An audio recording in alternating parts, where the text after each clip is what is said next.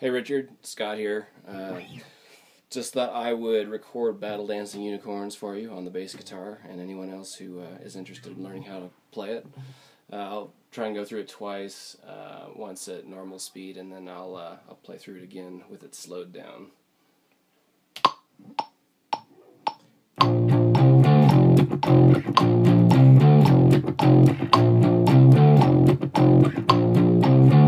Alright,